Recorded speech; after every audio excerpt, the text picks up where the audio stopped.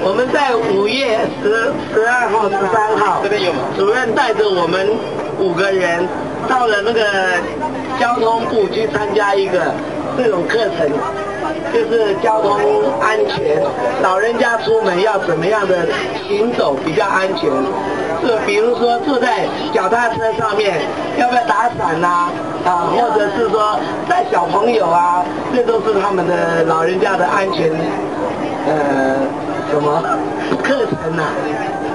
陆老师就是给我们的一个身份，一个名词，就是以后我们就是陆老师了啊。啊，帮助老人家出门会更安全的解说及推广啊。啊，让自己啊，帮助自己了解路上的安全，然后呢，帮帮助政府降低老人交通安全事故。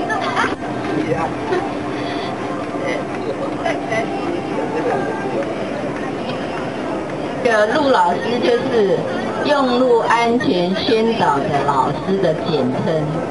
那诶，我们有几个要点，就是若真有备而来带小抄。哎，呃，大概就是今天我们呃去玩的行程，可能那个我们的队伍可能会拉很长，那所以在嗯，在这个过马路的时候，请大家小心，如果看到车辆的话，就比这样一个手势。对方有行人的对方或者车辆的对方要怎么这举左手对吗？要稍微面带笑容。你看左边来的，右边来，还面带笑容，你不要臭臭的脸给他，他一定会给你善良心。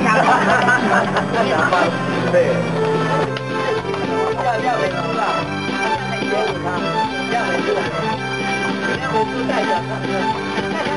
唱歌唱歌，电脑放歌，电脑放歌，电脑放